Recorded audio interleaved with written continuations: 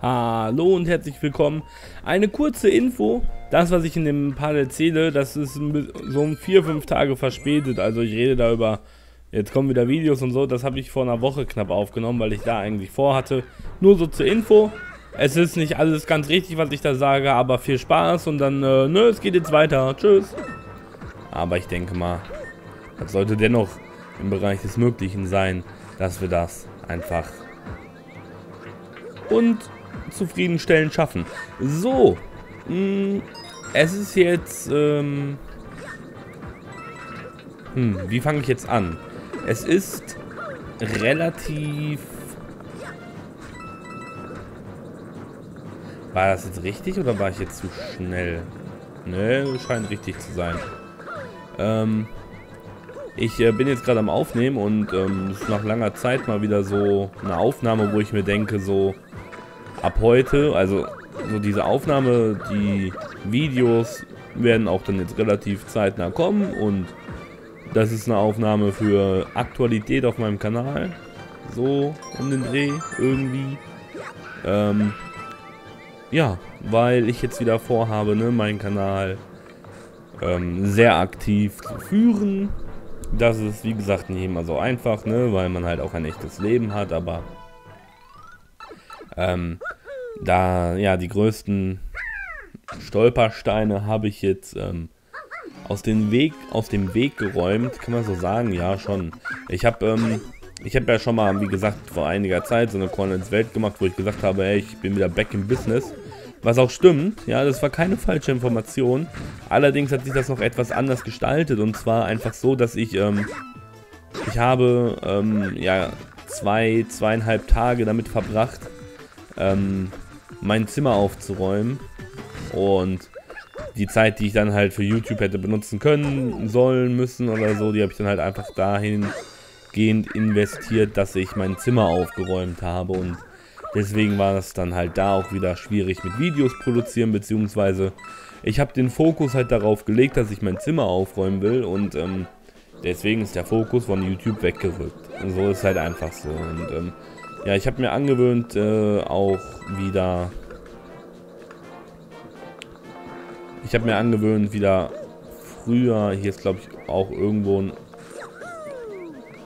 Ich glaube, hier ist... Ne? Ach, keine Ahnung. Da ist, glaube ich, irgendwo ein extra Leben, aber ist jetzt auch egal. Ähm, ja, ich habe einfach den Fokus darauf gelegt, aufzuräumen und... Ähm, ja, aber jetzt bin ich halt, jetzt ne, fängt die Uni wieder an und ähm, ich habe zwar relativ viel, wenn mich das nicht täuscht, ähm, dieses Semester. Ähm, ich muss mal gucken, wie das funktioniert, aber ich denke schon, dass ich das alles unter einen Hut kriege. Und dann packen wir das und ja, schauen einfach mal, ähm, wie es dann so weitergeht in Zukunft. Ja, ich bin momentan in so einer Phase, also wie gesagt, es war mir halt auch extrem wichtig mit meinem Zimmer und deswegen und es sieht hier immer noch dreckig aus und ähm, unordentlich. Wenn man hier das, also jetzt sowieso, weil ich hatte gestern Besuch und ähm, ich, ne, deswegen, wir haben gegrillt gestern und äh, hier was getrunken, deswegen ist sowieso gerade unordentlich, weil hier noch alles rumsteht, was ich halt auch wieder aufräumen muss, aber mh, hm, nee, ähm, auch so wäre es noch, würde es noch unordentlich aussehen, und die meisten würden sagen, ey, was ist denn hier los? Räum doch mal auf. Aber wie gesagt, ist halt auch einfach, ne? Und so für mich wichtig. Und wie gesagt, ich habe da sehr viel aufgeräumt. Hier war sehr, sehr viel Dreck in dem Zimmer. Und das war mir einfach ein richtiges Dorn im Auge. Und ja. Ich bin momentan in einer Phase, in der ich sehr zufrieden bin. Und also ich fühle mich momentan gerade eben jetzt, just in diesem Moment, wo ich hier aufnehme, fühle ich mich ziemlich, ziemlich gut.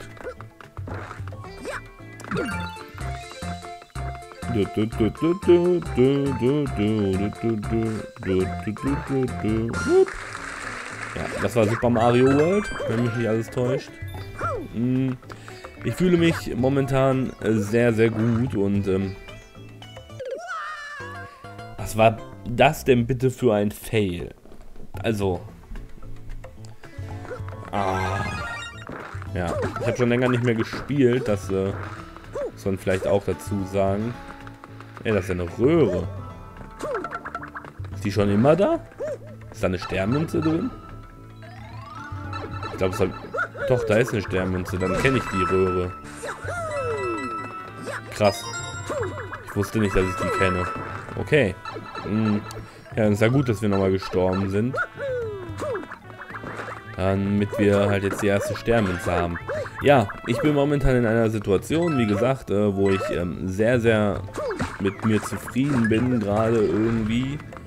Und ja, das hatte ich schon ziemlich lange nicht mehr. irgendwie so dieses Gefühl und das ist echt schön und macht mich gerade ein bisschen glücklich und ähm, zufrieden und da hat ein ganz großes Teil beim Praktikum dran, was ich, wie gesagt, ähm, wo ich jetzt gar nicht so sehr drüber geredet habe, wie es vielleicht eigentlich geplant war. Oder vielleicht haben auch manche gedacht, ja, ne, da hört, kriegt man ja viel Off-Topic-Gerede und so. Ähm, ich muss zum einen sagen, ich habe halt auf der einen Seite, ähm, ja, was habe ich noch auf der einen Seite? Ich habe auf der einen Seite ja wenig ähm, aufgenommen in der Zeit, als ich im Praktikum war.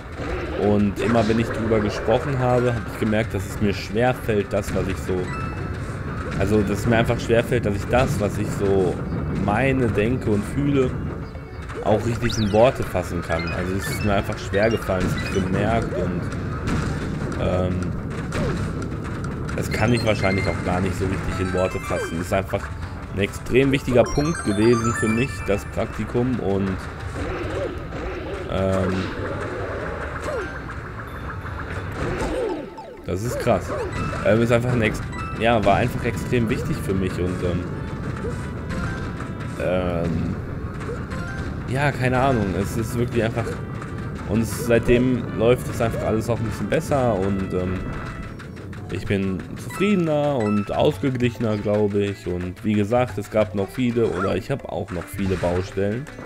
Ja, ich habe noch viele Baustellen, die ich abarbeiten muss und ich hatte viele Baustellen und aber ja, einfach dieses äh,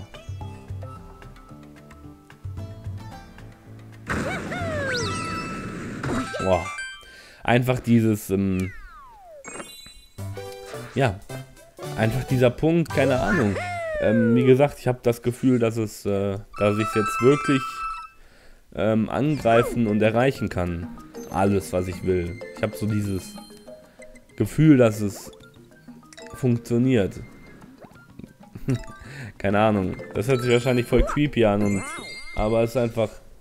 Ich habe einfach das Gefühl, dass es funktioniert. Ich habe das Gefühl, dass mein Leben in die richtige Bahn läuft und das ist einfach ich habe ich bin ein Mensch, der glaube ich echt extrem zukunftsängstlich ist, einfach weil ich weiß nicht, was in der Zukunft passiert und ich kann es auch nicht also ich kann schon beeinflussen, aber dafür braucht man viel Geduld und ich bin so unfassbar ähm, ich bin so unfassbar ohne Geduld und ähm, ich bin ein so ungeduldiger Mensch, wirklich. Das ist richtig, richtig schlimm. Das könnt ihr euch nicht vorstellen. Das könnt ihr euch auch nicht vorstellen. Ich bin einfach ein extrem ungeduldiger Mensch. Und wenn ihr wüsstet, wie ungeduldig ich bin, dann würdet ihr denken, Alter, sei mal nicht so ungeduldig. Und ja, ich habe die erste Sterne jetzt nicht, weil ich äh, klein war. Ach, hier gibt es auch keine Sternmünze. Aber hier gibt es irgendwo ein extra Leben. Ey, das ist ein... Ja, super. Hätte ich gerne bekommen, aber... Äh, irgendwie habe ich gar keine Sternmünzen. Aber ich glaube, die zweite kommt noch. Aber die erste müssten wir verpasst haben. Ähm... Ja, keine Ahnung. Es ist einfach... Äh, das Praktikum, ja, ich will noch mal ein paar Worte an das Praktikum richten. Einfach, ähm, ich werde auch in den nächsten Parts wahrscheinlich noch ein, zwei Praktikumsgeschichten auspacken. Ich äh, werde versuchen. Ja, das Problem ist halt, dass ich das Gefühl habe, nicht wirklich gut das berichten zu können, weil. Weiß ich nicht, weil. Ja, vieles muss man vielleicht auch einfach dann selbst erleben und so bla bla bla. Ich kenne das ja, aber. Ja, ich probiere es einfach mal und. Ähm, wie gesagt. Mh, Es ist einfach, ähm, ja, scheiße. Wir müssen sowieso nochmal in das Level rein. Ähm, ja. Äh, wie gesagt, ich werde wahrscheinlich noch ein bisschen was erzählen über das Praktikum, aber wie gesagt, ob das dann wirklich, ja, ob man sich das gut anhören kann, weiß ich nicht. Das werden wir dann sehen, aber was ich sonst halt noch über das Praktikum sagen will, ist einfach, dass ich, dass es einfach so schön für mich war, die Zeit. Und wenn ich mir vorstelle, dass halt, halt ja, irgendwann mal dorthin zu kommen, dann kann ich, glaube ich, ein sehr gutes und glückliches Leben führen. Und das ist einfach, äh, neben all der Zukunftsangst, die ich halt immer so habe, wisst ihr, ich hab, bin so ein Mensch, also bei mir war immer alles so, ich hatte immer, ich habe immer Angst vor der Zukunft und Angst, dass alles nicht funktioniert und so und ja, dieses Gefühl, dass ich irgendwann vielleicht da als Lehrer fungieren könnte bei den Kindern, das äh, ist einfach dann halt ein Fakt, der mich, ähm, wo ich halt keine Angst haben muss, weil ich jetzt weiß, dass das auf jeden Fall das Richtige ist, was ich will und ähm, das heißt, ich muss auf jeden Fall, ja, es gibt trotzdem Punkte, wo ich zukunftsängstlich bin, aber das ist halt ein großer, wo ich sagen kann, okay, und jetzt äh, ist es so und es ist gut so. Ähm, weiß nicht, ob das verständlich ist, wie genau ich das meine, aber ja. Einfach ähm, super irgendwie. Und jetzt sind wir wieder hier und ich weiß nicht so genau. Gibt es auch keine... Da ist ein Extra-Leben, ja. Hier gibt es aber doch keine Sternmünze. Hm. Keine Ahnung. Und... Ja. Das ist einfach echt extrem krass. Dass... Äh Ach, das war... Ich habe die zweite Sternmünze. Ich habe die erste auch schon wieder verpasst. Ja, es tut mir echt leid, aber äh, gönnt mir dann vielleicht einfach mal hier die Zeit, wo ich nochmal ein Spiel finde. Ja. Und dann geht es im nächsten Part bestimmt auch wieder besser weiter. Ähm, ja, ich weiß auch nicht. Das Praktikum, ja, das Praktikum. Es war einfach echt, äh, es ist einfach, ich weiß auch nicht. Ich weiß auch nicht.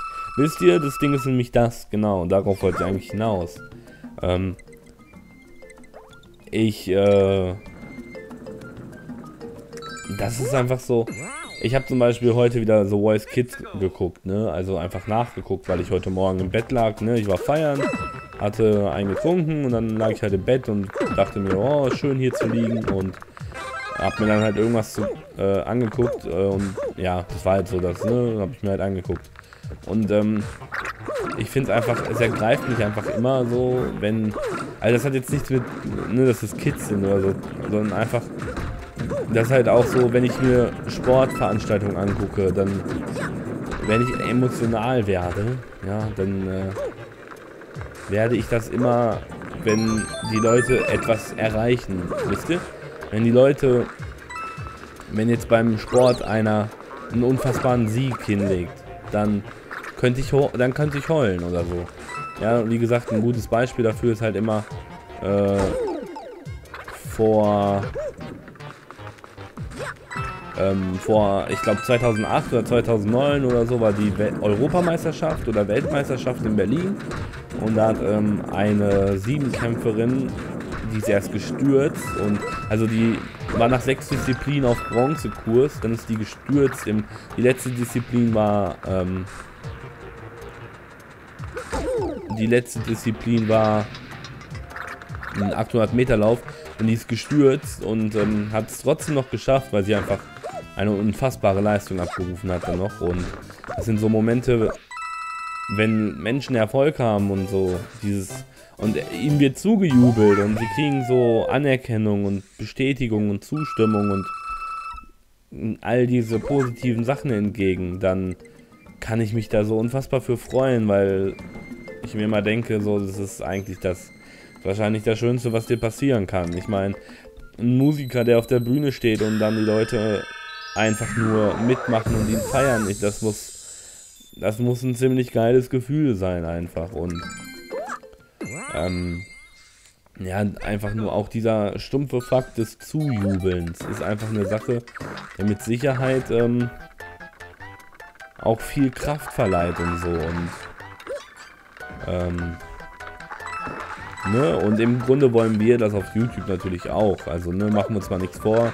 Jeder, der YouTube-Videos macht, der freut sich, wenn er sieht, dass die Leute ihn feiern, dass die Leute ihn mögen und das, was er macht, dass sie das cool finden. Ja, das ist ja Ne, man ist irgend so ein Pimpf, der zu Hause sitzt und irgendwas macht und da sind Leute, die finde ich cool. Und das ist einfach, ja, trotz allem Abstand und so, trotzdem denke ich auch für jeden so eine, einfach so ein Fakt, wo man sich denkt, Alter, das ist so krass, warum? Und ähm, es ist natürlich schön, wenn man diese Zustimmung bekommt, erfährt und ja, aber das Problem ist halt, dafür muss man auch irgendwas können, ne? Und mh, mm, ja, ich habe schon wieder die erste Sternmünze verpasst. Was ist denn hier los? Ich weiß auch nicht, was da los ist. Jetzt weiß ich wieder nicht so genau, wie ich auf den Punkt komme, auf den ich kommen wollte. Weil es geht nämlich gar nicht so sehr um dieses... Ja, und keine Ahnung, das war immer so eine Sache, die mir auch in meinem Leben extrem... Was heißt extrem, aber die mich auch immer wieder so ein bisschen ja, traurig gestimmt hat, dass ich einfach nichts habe, wofür es sich lohnt, äh, aufzustehen und zu applaudieren. Das klingt jetzt erstmal ein bisschen doof. Ja, das klingt jetzt erstmal ein bisschen doof, aber aber ähm, ist halt einfach so. Ja, weißt du, wenn man halt einfach so da sitzt und man denkt, und man hat einfach kein Talent. das ist einfach, äh, ja, das ist schon einfach so eine Sache, da denkst du dir auch so, ja toll, warum kann ich nichts? Und das ist natürlich dann nichts, was äh, dir großartig Spaß macht. Ich denke mal, das ist verständlich.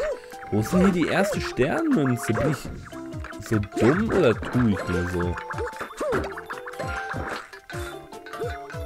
Hä?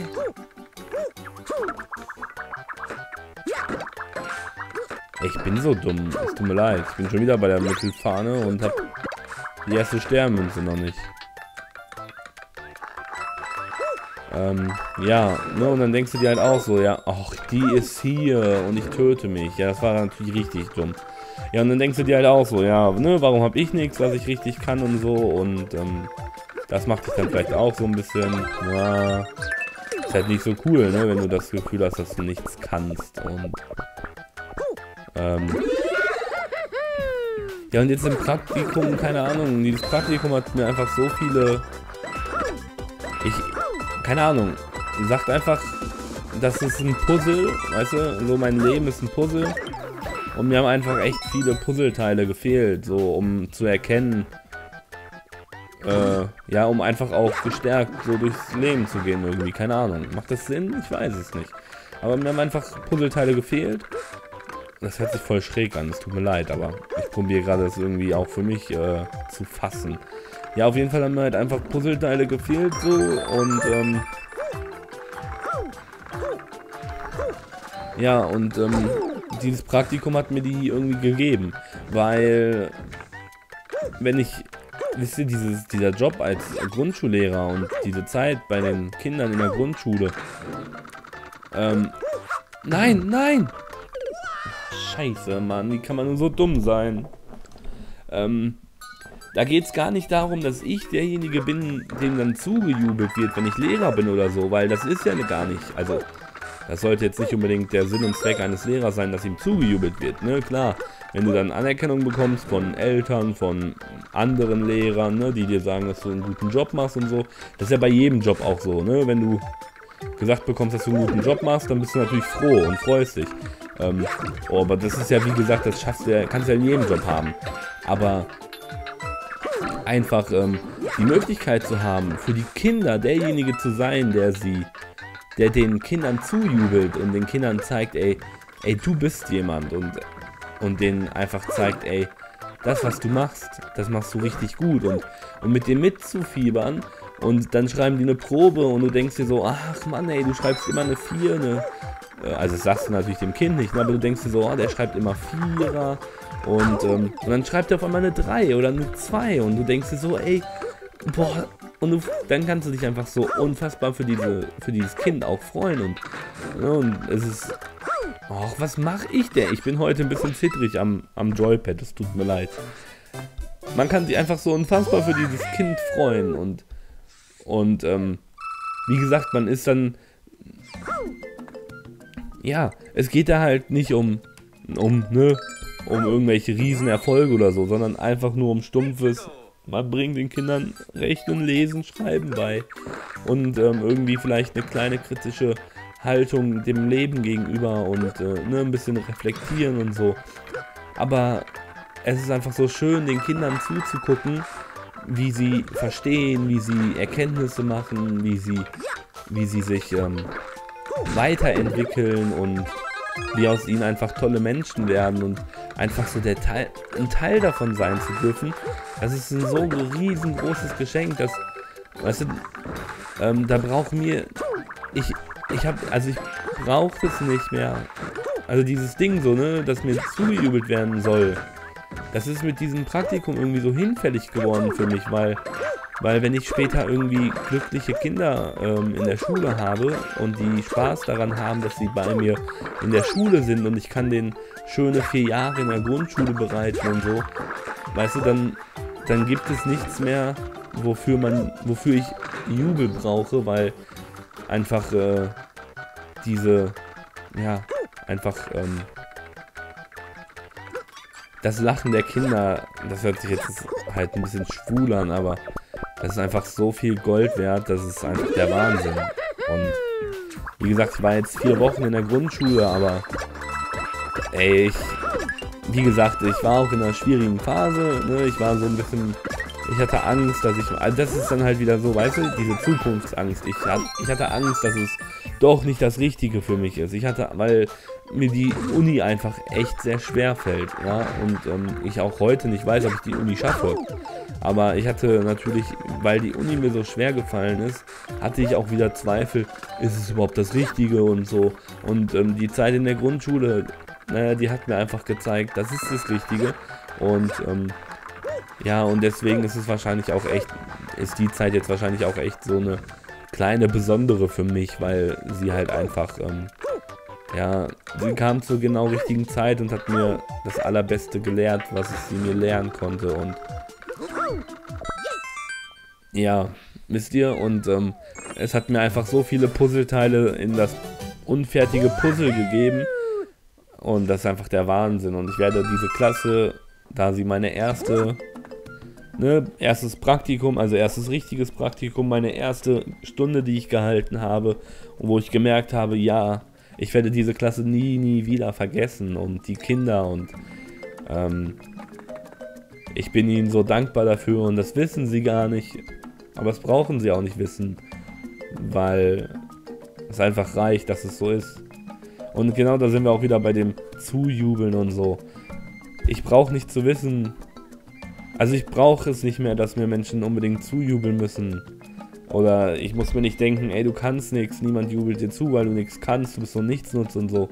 Weil es mir nicht wichtig ist, dass mir Leute zujubeln, sondern es ist mir einfach nur wichtig, dass ich, äh, ja, dieses Positive und diesen ganzen Kindern eine gute Zeit machen und so, das ist einfach viel, viel schöner. Ja, gut, ich höre jetzt mal auf und ähm, ich weiß nicht, ob ich hier irgendwas Sinnvolles erzählt habe, beziehungsweise ob das Sinn gemacht hat, was ich erzählt habe. Es war ein bisschen wie in meinem Kopf, das irgendwie in Worte zu fassen, was ich so fühle gerade, aber mir geht es sehr gut momentan. Ich bin sehr glücklich und ähm, ich habe richtig viel Lust. Ich hoffe, ihr habt auch Bock. Ich hoffe, ihr freut euch, erfreut euch an meinem Kanal. Ähm, ich würde mich über eine Bewertung freuen. Erzählt euren Freunden äh, von mir und man sagt ja immer, ähm, kleine YouTuber haben keine Chancen mehr und so, man kann nicht mehr groß werden äh, aus eigener Kraft. Im Grunde seid ihr diejenigen, die in der Lage sind, aus jedem Kanal einen großen zu machen. Ähm, deswegen, ihr seid halt die Leute, die dafür wichtig sind und wenn ihr das macht, werde ich euch hier zujubeln und mir braucht kein Mensch der Welt zujubeln. Ich freue mich einfach, wenn ihr Spaß an meinen Videos habt und äh, wie gesagt, ne? Das bedeutet natürlich nicht, dass ich mich nicht über Daumen hoch freue, nur weil ich jetzt gesagt habe, dass man mir nicht zujubeln, also dass es mir nicht wichtig ist.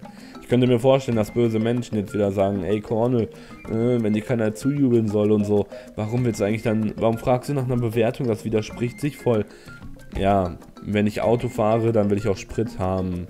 Auch wenn ich sage, dass ich keinen Sprit brauche. Das macht keinen Sinn. Das war ein doofer Vergleich, keine Ahnung. Tschüss, ne?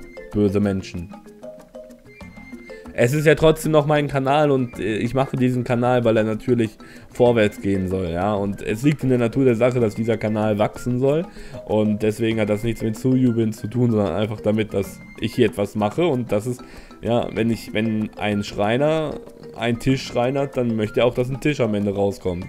Das macht irgendwie Sinn, oder? Naja, böse Menschen gibt es überall. Tschüss und bis dann und ihr seid die Besten. Danke.